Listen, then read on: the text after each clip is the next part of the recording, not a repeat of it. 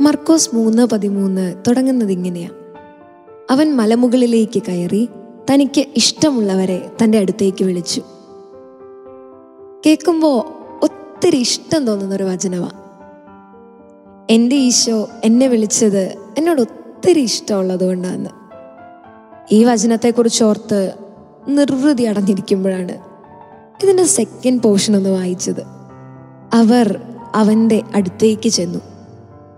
ഈശോയ്ക്ക് എന്നോടുള്ള ഭയങ്കരമായ ഇഷ്ടവും അവന്റെ വിളിയും മാത്രം പോരാ എന്ന് തിരിച്ചറിയുമായിരുന്നു. മലമുകളിലേക്ക് കയറിയ ഈശോയുടെ പിന്നാലെ ഞാനും മല കയറണം. ആ മലകയറ്റത്തിന്റെ ബുദ്ധിമുട്ടുകളും പ്രയാസങ്ങളും ഒക്കെ സഹിച്ച് ക്രിസ്തുവിന്റെ അടുത്ത് ചെല്ലണം. അപ്പോഴാ അവൻ എന്നെ അവന്റെ സ്വന്തമായ അപ്പസ്തോലനായി നിയമിക്കുക.